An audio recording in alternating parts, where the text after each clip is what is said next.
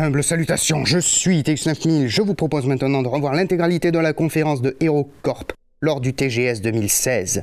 Comme toujours, il y a quelques coupures dans la vidéo à cause des fameuses contraintes de matériel.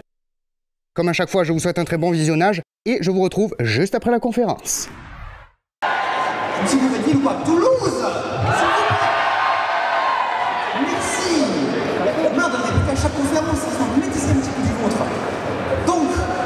bienvenue au Toulouse Game Show 2016. On est pour 10 ans, on se prend des invités, mais partout, et ça c'est génial. Vous êtes ici donc pour cette conférence, qui ne sera pas n'importe laquelle, donc la, conférence pour la célébrité HeroCorp. Oui, je sais, moi aussi, je suis au état. On va faire simple, on va gagner du temps, on va pas faire entrer tout le monde les uns après les autres. Mesdames et messieurs, je vais vous demander de faire un tonnerre d'applaudissements comme seuls 10 ans de TGS méritent pour, s'il vous plaît, messieurs Simon Astier, Agnès Bourrine, François Frappier, Cédric Chérin,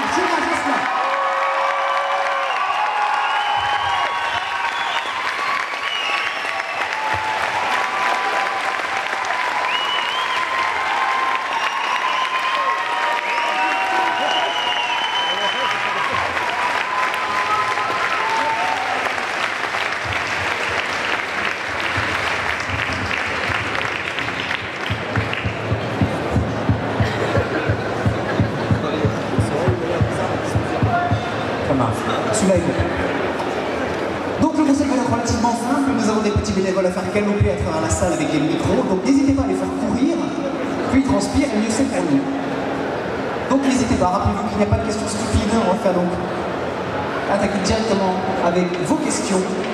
Il n'y a pas de questions stupides, il y a des réponses intéressantes. Donc levez bien la main. Merci. Donc le prochain, dit au fond, hein, bien lui faire euh, galoper. Euh, ici. Bonjour. Bonjour. Euh, juste pour savoir où ça en est près, donc euh, tout pour la saison 5, le tournage, tout ça. Comment ça se passe Alors ça a été compliqué.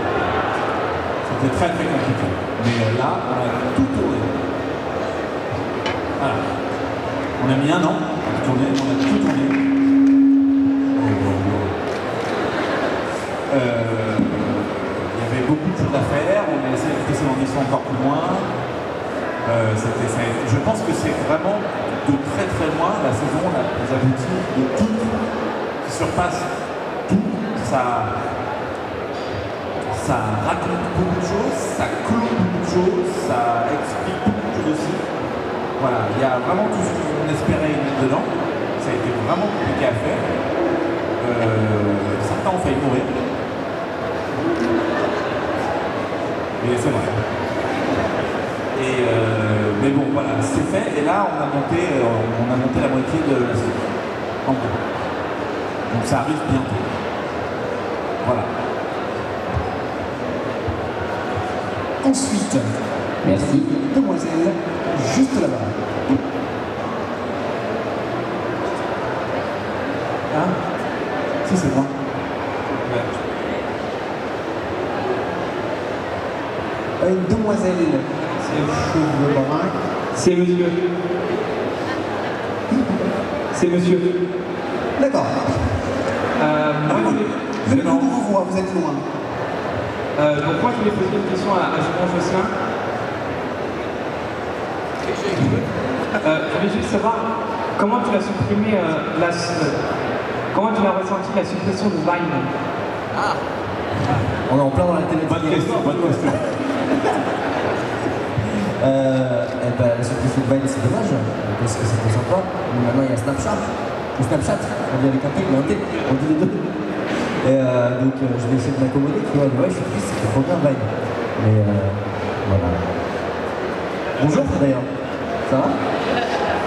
Bon, Merci pour votre question. Bonjour. Bonjour. Euh, du coup, je pense que à peu près tous les fans connaissent euh, bah, les rôles de John, de Marie, de Kyle, mais euh, est-ce qu'on peut en savoir plus sur les deux petits nouveaux? Ah oui, alors. Euh... Wow Petit nouveau qui est passé. Ça dépend duquel, ça dépend duquel tu vas. Ben, euh, Julien, donc, il joue un rôle dans la série. C'est même dingue. C'est Et en fait, euh, Cédric. Pas du tout. Cédric, il joue aussi un rôle dans la série. Voilà. On, on peut peut-être dire, et là, ça va vraiment en apprendre beaucoup, Cédric joue le rôle de Goliath. Voilà. On a tout basé sur sa voix, et euh, Julien joue le rôle de Jean. Je vous laisse déduire ce qu'il y a à déduire. Ça me paraît évident, Jean. On va tout de suite euh, le personnage. Exactement.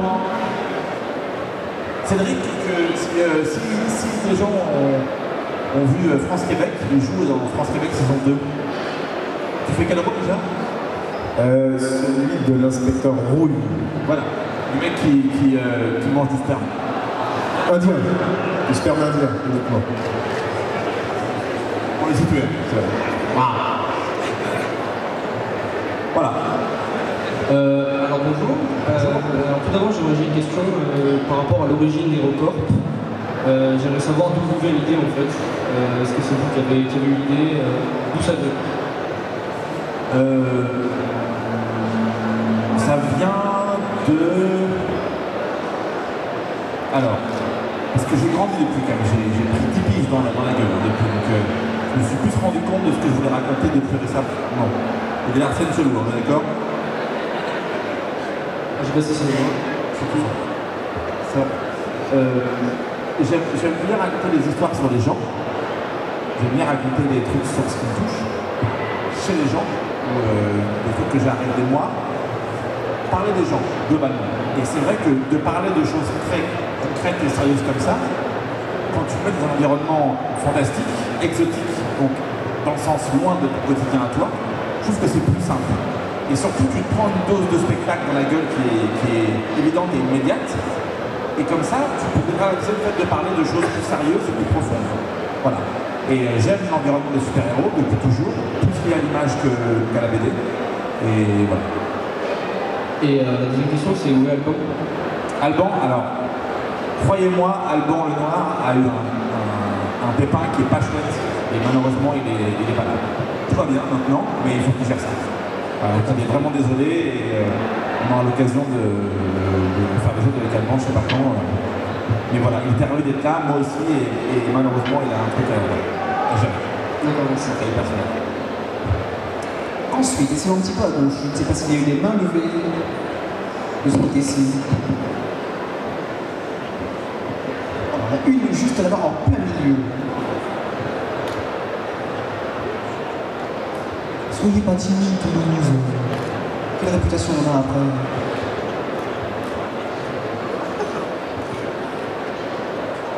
Bonjour. Euh, c'est pour savoir, euh, que tu avais l'air de dire sur la nouvelle saison de Calédonie, euh, est-ce que il y aura, est-ce que c'est une clôture de la série? Ou est-ce qu'une suite est prévue peut-être dire ça, ça, ça, clôt- ça clôturait certaines, certaines choses et ça. C'est la dernière saison, il n'y aura pas de, de coup de pute à la fin. C'est vraiment. euh, Pas un cliffhanger euh, Non, non, non, non, non. On n'est pas sur un cliffhanger, on est sur, euh, sur une fin bouclée pour la première fois de ma vie, je crois d'ailleurs. Mais euh, oui, c'est la fin des records dans cette forme-là, ça c'est certain. Merci. Oui, là, je mains, mais ensuite. Mais peu de micro. Bonjour. Bonjour. Euh, ça veut dire qu'il va y avoir d'autres formes du coup. Ben voilà, évidemment, tu reprends là-dessus. Non, ben il y, a- y, y, y la BD qui continue. La BD qui va continuer, j'ai j'ai pris de retard, mais là, elle, elle est, elle est repartie. Et voilà. Et aussi j'ai une question pour Julien. Par rapport à Paris, oui Non. Par rapport à Instagram. Génération. Est-ce que vous étiez fan de, de la série avant de jouer dedans Bah oui, ouais, pour ceux qui connaissent euh, ma carrière euh, plus en détail, oui, évidemment. Je m'avais fait un fan film qui s'appelait Eurocorp Academy à l'époque, qui n'est plus disponible d'ailleurs, il faudrait que je le remette en ligne, qui est en privé. Parce que je me disais, allez, ça fait longtemps, mais il faudrait que je le remette. Ça me dit d'ailleurs, ça fait cool. Et euh, donc oui, évidemment, moi le parcours c'est fan d'Eurocorp, et maintenant je joue, donc c'est trop bien. C'est vrai que Moi j'étais tout simplement fan de Simon Astier. Merci, Cédric.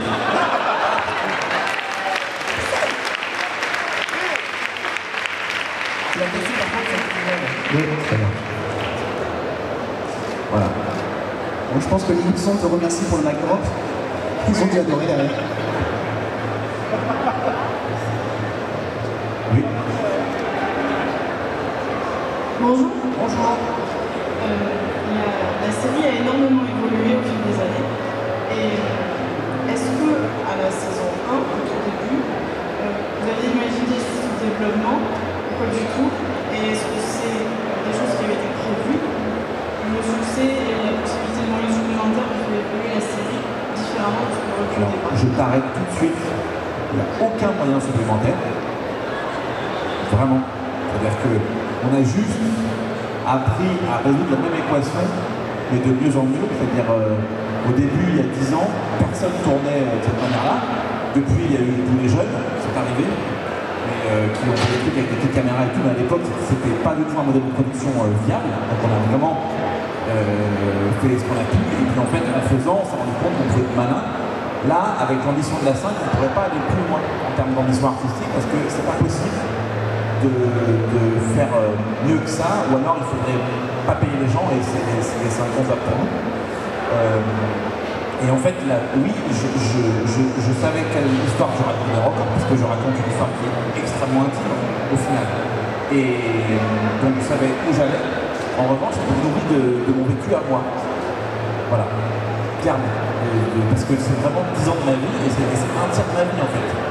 Donc euh, voilà, ça, me nourrit parce que j'ai compris, parce que j'ai gagné, parce que j'ai perdu, et ainsi de suite. Ok, merci beaucoup.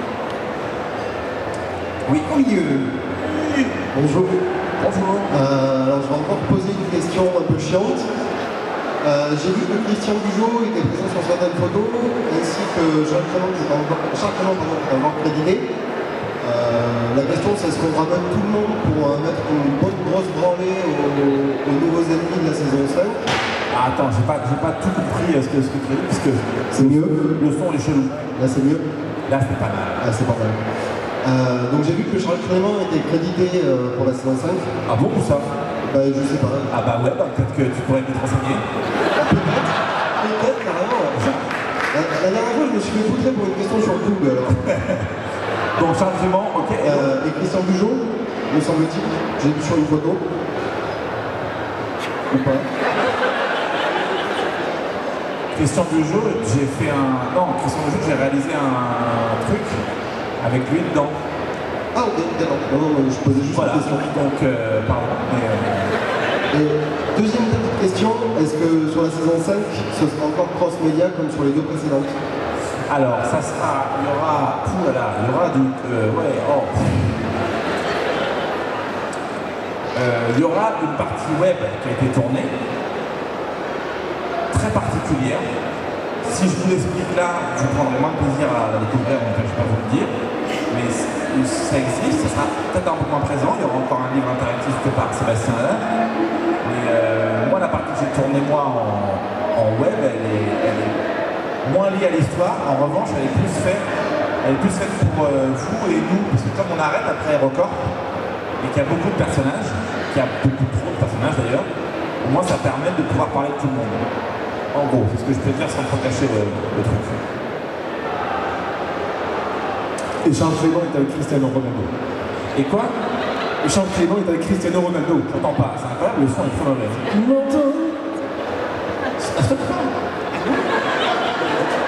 T'as dit quoi? Non, non, c'était vraiment moi. Je disais que Charles Clément est avec Cristiano Ronaldo. Oui, c'est vrai. C'est vrai. Il gagne beaucoup d'argent d'ailleurs. Beaucoup, beaucoup d'argent. Non, non, Charles Clément, il est partout. Il fait des films partout. Oui. Bonjour. Bonjour. J'ai une question pour euh, monsieur Julien Jousselin. Oui. Euh, Est-ce que vous êtes fier de votre film Les Dissociés? Ah euh, Bien sûr, bien sûr qu'on est fan du film Dissocié, on est super content. Je vu euh, hier, avant-hier, on a annoncé la sortie du DVD. Et, euh, parce que ça, on a fait, ben, je te l'annonce, on sort un DVD mon pote. Merci. Et euh, voilà, ça faisait un an, on a fêté l'anniversaire il y a un an récemment, donc ouais, on a sorti le film, on est super content. Il y a un beau meeting dog, il y a plein d'autres choses. Voilà. Je fais ma promo euh, sur le plateau, euh, Simon. Non, mais euh, avec plaisir, moi j'ai adoré les dissociés. Donc ouais, carrément, bah ouais, super ça, bien sûr. C'est pour ça qu'on a fait un DVD. et- donc, C'était un peu d'argent, on fait deux, tu vois, on a décidé de faire un bel objet. C'est assez joli. D'ailleurs, je me suis je beaucoup. Merci, ça va. Bonjour. Ah bon, bonjour. Complètement à gauche. Ok. Bonjour. Euh, Déjà, je voulais vous dire que vous faites du super boulot. Merci beaucoup. Voilà. Et euh, je voulais savoir euh, pourquoi le changement de format au niveau de la saison 3 Euh, Qu'est-ce que, ça voulait apporter aux autres Bah, en fait, je peux que te répondre par est-ce que tu aurais préféré que je le fasse pas ou que je le fasse en 7 minutes? En fait, avec le mouvement des fans, avec l'envie qu'on avait, on m'a dit de le faire en, en épisode de 30 secondes, je l'aurais fait en fait.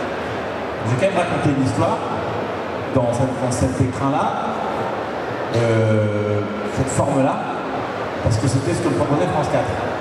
Voilà. Et puis après, comme ça a marché, c'est nous qui avons repris un peu le, la négociation en, disant mais les histoires, plus on a le temps pour les raconter, plus elles peuvent être euh, euh, profondes dans la narration, voilà, ce que les personnages c'est pour ça que là on fait euh, du 26 minutes maintenant.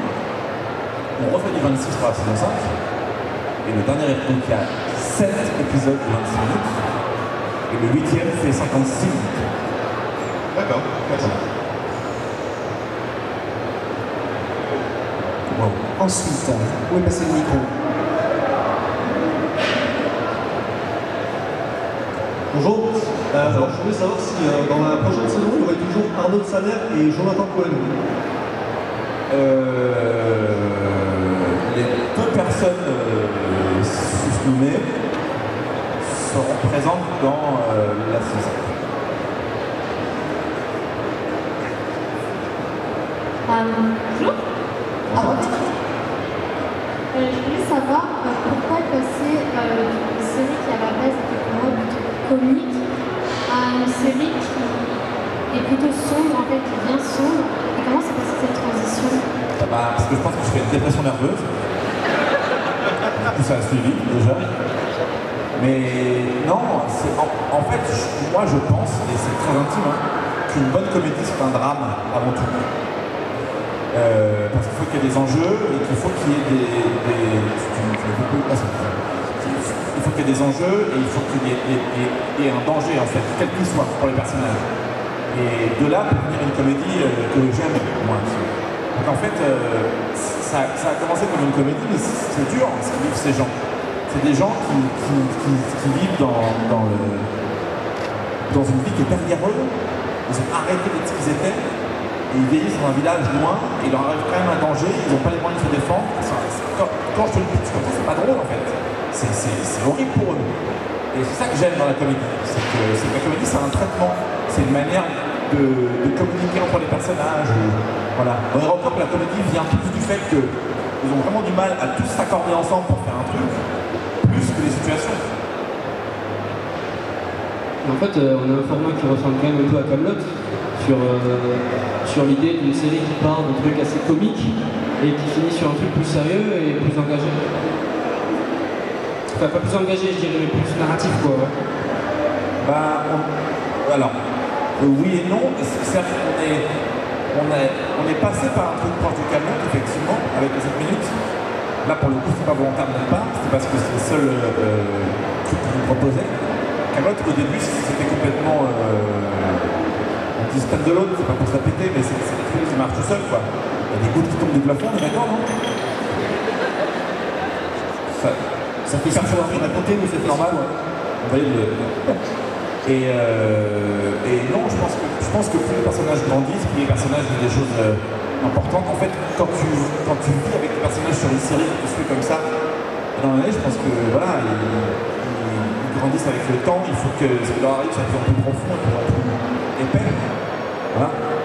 Dans ce sens-là, je pense qu'on n'est pas les deux seuls exemples à, avoir un, un- un ton qui évolue et, et, euh, parce qu'Aerocorp, c'était c'était un peu léger, c'était très sombre en 3, et après, ça, remonte vers un truc plus solaire quand même. hein. La 4, c'est quand même plus joyeux que la 3. La 3, c'est. Même moi, quand je la vois, je me dis quand même, ça n'allait pas super bien à l'époque, quoi. Ah, mais sur la première, par exemple, il y a une proximité d'écriture avec. euh, une façon d'écrire qui se ressemble. Vous avez, vous avez une proximité avec euh, votre frère sur l'écriture en général? Bah, on a une proximité en, en fait qui, qui- est juridique, parce qu'on est la famille en fait. Ouais, c'est logique. Du coup, euh, du sang quoi, je veux dire, dans- Oui, dans- même en partie, je veux dire. Nos familles, tout ça pareil, c'est le même, c'est pareil. Donc, euh, on, est, on, est, on est forcément proches avec mon frère. Comme avec mon père, comme avec toute cette bande-là, en fait, on est, on est, on est une famille. Voilà.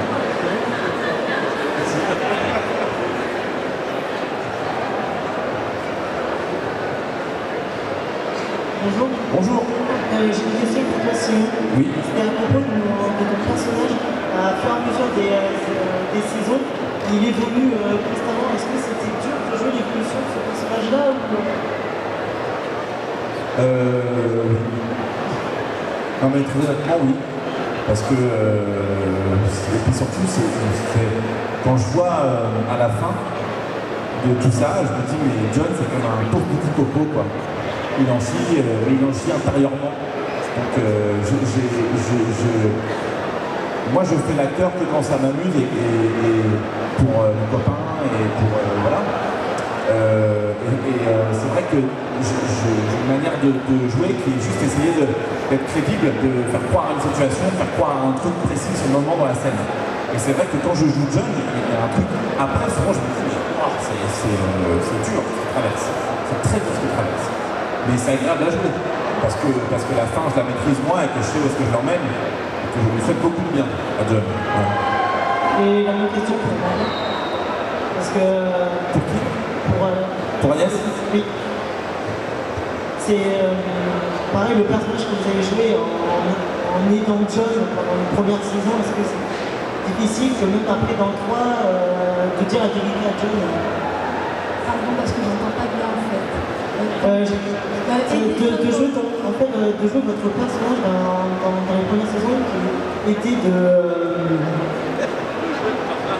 dans, dans les premières saisons, de jouer votre personnage pour euh, élever John, mais après dans la troisième saison, euh, la 4 aussi, de, de dire qu'en fait, euh, John, tu peux pas partie de cette famille, mais euh, t'as d'autres pères et t'as d'autres mères. Bon, j'ai pas compris les mots, mais je pense que j'ai saisi à peu près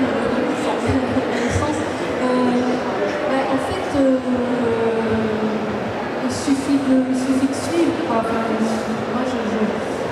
j'étais euh, imprégnée de, Marie, mais Marie, elle est en réaction tout le temps à ce qu'est John. Donc, euh, il suffit de suivre ce que fait John, de réagir à ça. quoi. Parfois, parfois j'étais étonnée. Effectivement, je me disais ah, oh là là, mais, euh, euh, pourquoi Mais, euh, Non, il suffit, voilà, il suffit de suivre, euh, suivre l'histoire, avec. Est-ce que j'ai répondu ou est-ce que j'ai pas Oui, c'est bon. D'accord. Euh, merci. Merci. Euh, voilà, c'était une question un peu chiante peut-être, mais c'est- est-ce que euh, euh, pour- on peut avoir une date officielle euh, pour la saison 5 ou pas? Même si moi je savais, je sais même pas. Je sais même pas. En 2017, ça c'est sûr. Moi ce que j'aimerais, c'est de, avant de la diffuser à la télé, c'est qu'on fasse une intégrale au Grand Rex, euh, mais intégrale, pour que tous les fans de la série qui sont là depuis et qui ont envie de vivre ce moment-là en avant-première avec nous, avec l'équipe, on sera tous, qu'on se fasse un, samedi de, je sais pas, de 17h à minuit, on se fait toute la saison 5 en, de suite. Euh, voilà, ça je pense qu'on fera au printemps et après la diff, je sais pas derrière, mais dès que c'est fini. Voilà. Et pour l'instant, j'ai fait la moitié. Ok, merci. Pas avant le printemps, c'est sûr. Je vais m'en fous. Euh, quand tu as eu l'idée euh, de HeroCorp au tout début, ou quand tu avais les idées des, des- des personnages, est-ce que tu avais déjà des personnes en tête, en acteur, ou, ou des gens que tu connaissais toi Euh, J'avais beaucoup de gens en tête. J'ai, oui, j'ai écrit pour des gens. Après, j'ai, rencontré beaucoup de gens aussi avec cette série. Ce qui est bien dans mon métier, c'est qu'il faut, il faut travailler avec plein de gens différents tout le temps. Sinon, on, a- on est, ça devient consanguin, c'est terrible en fait. Donc euh, voilà, c'est un mélange de gens que je oh, des gens que je connaissais, que je connaissais pas. Euh, l'idée, je pense que je l'ai déjà dit, l'idée d'Hérocorp, c'est. Je sortais euh, de, trucs plus conventionnels et, on m'a dit, tu as une carte blanche. Donc je me suis dit, qu'est-ce que je veux faire? Qu'est-ce que je voudrais voir? Et dans quoi je veux aller euh, pendant 10 ans? Potentiellement. C'est un truc qui raconte ça chez les super-héros.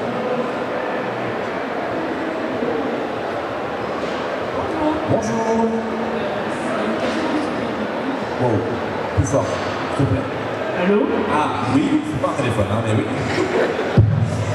Euh, C'est au sujet de l'évolution du personnage de Doug. Oui, Euh, je, je trouve son évolution plutôt intéressante, mais pourquoi l'avoir fait redevenir humain après pourquoi leur, leur fait redevenir humain après qu'ils soient un vampire de jour Parce que je pense que symboliquement, on traverse tous des, des périodes qui nous font révéler des choses en soi dont on n'a pas forcément conscience. Et que parfois, il faut passer par des moments comme ça, qui, là est symbolisé par un truc même visuel en fait. Je pense que parfois, il faut savoir sublimer un truc qu'on a en soi, un démon, apprendre à cohabiter avec. Et en fait, je trouve ça plus intéressant qu'il surpasse ça à devenir autre chose de plus fort derrière. D'accord, merci beaucoup. Bonjour, une question pour euh, Simon. Euh, la première, ça serait euh, à propos de Camelot, fait, euh, pas de savoir en fait si on retrouvera. Aucune idée. Même savoir si Yvain le chevalier au lion sera dans le festival. C'est quoi? Si Yvain le chevalier au lion. Je, très honnêtement, je ne sais pas. Alors, toujours pas Moi, pour l'instant, je suis au courant de rien. Je ne peux pas être plus précis que ça, en fait. Et une question sur les records, sur les autres acteurs de casting. Savoir pour ceux qui avaient des pouvoirs qui pouvaient être euh, un peu faibles, un peu pourris. Euh, Est-ce que c'est facile de garder son cerveau et de jouer des pouvoirs qui sont pourris Ben, là, ils ont tous des pouvoirs un peu cool, en fait, hein, euh, quand même. Ils ont tous des pouvoirs cool. Mais en fait, c'est bizarrement sur le record, on n'a pas le temps de se marrer parce qu'on on va très vite et il faut qu'on tourne très vite. Il faut qu'on tourne 8-9 minutes de film par jour et du coup, enfin, voilà. On rigole hein, parfois, bien sûr, il y a des bêtisiers qui sont longs, mais il faut, il faut qu'on fasse quand même. Voilà. Bonjour. Bonjour. Alors, euh, moi, je voulais savoir, il me semble que votre troupe euh, Hérocorp a fait plusieurs fois des matchs d'improvisation au théâtre. Et euh, du coup, bah, je voulais savoir comment vous vous organisiez euh, pour vous entraîner, si vous vous entraîniez pour le théâtre, et si aussi cette, euh, bah, euh, façon de, de faire l'improvisation, vous enseigniez sur Hérocorp, et s'il y avait eu la place justement à l'improvisation pendant les tournages, sur certaines scènes. Alors, comment est-ce qu'on s'organise mal Clairement? D'ailleurs, on, refait une grosse tournée avec une très très bonne équipe de Montréal. Là, j'ai publié un truc sur Twitter, allez voir. euh, On passe près de chez vous. On va venir jouer à Toulouse aussi, je crois, en- mais pas avec Montréal. En, novembre dans un an, je crois, un truc comme ça, il me semble. Euh, on s'organise mal, on s'entraîne pas. J'en suis premier déçu. Je trouve ça vraiment dommage. Et, euh, et après, est-ce qu'on s'en sert dans, dans la série? Pas du tout. Pas du tout, du tout. Parce que il n'y a, pas la place. En revanche, moi, je besoin d'improviser. J'aime beaucoup improviser quand le cadre est clair pour moi. J'ai improvisé dans le viseur du futur euh, beaucoup. Parce que François avait un truc très précis à me faire faire euh, dans l'emploi. Et après, moi, je naviguais autour, je prenais, et comme je lui fais une confiance aveugle, je savais qu'il allait prendre ou jeter ce qu'il voilà, fallait pour tisser. Et euh, pareil, on a fait un prêt avec, euh, avec Julien et les gens de Golden, et on a, improvisé aussi sur le, sur le plateau ensemble parce que ça se prête. Il y a des enfin, en fait, improviser au service d'une histoire, c'est intéressant. Improviser de rien, c'est un jeu en fait. Voilà. Merci. Pour une dernière question, donc aucune pression, hein, mais il faut qu'elle soit bonne. Bonjour. Bonjour. Moi j'ai une question par rapport au format des épisodes. On a dit tout à l'heure que le format court avait été imposé pour le Ciné 4 plus ou moins par France 4. Et je voulais savoir si vous avez pensé du coup à faire une version après plus tard, un cut euh, remanié, même un format différent de ce qui a été fait sur les autres saisons. Quoi. Bah, alors je crois que ouais, si, si, si, si je pouvais, je le ferais. Pour être très franc, si mon rêve, ça serait de faire un remontage de la une, comme je voulais le faire à la base, et un remontage de la 3 en la desserrant un peu, avec un plus long, pour faire une intégrale en Blu-ray. Ce serait mon rêve ça, mais j'ai pas le...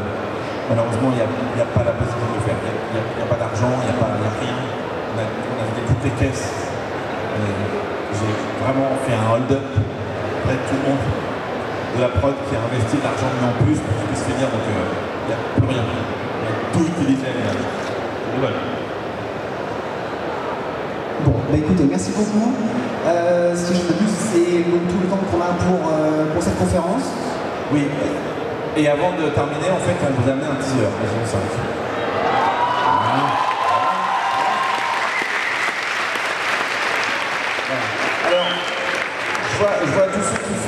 Prennent des photos. Faites-moi plaisir, euh, rangez, baissez, euh, tout ça et regardez parce que ça fait pas longtemps. Donc euh, profitez-en et voilà. Vous êtes les premiers à le voir, il ne sera pas en ligne, il n'y aura rien en ligne pour teaser la série avant, à mon avis, février. Donc il n'y a que vous qui voyez ça maintenant, donc partageons ça ensemble. Et, et voilà. Et il y a Nicolas Blin là, qui vraiment est. Je pas ça pour, euh, pour c'est juste qu'il peut vraiment vous, vous, péter la gueule très très fort. Hein, parce qu'il est beaucoup plus fort que la plupart d'entre vous. Euh, ben, merci à tous d'être venus. Merci à vous. Et, euh,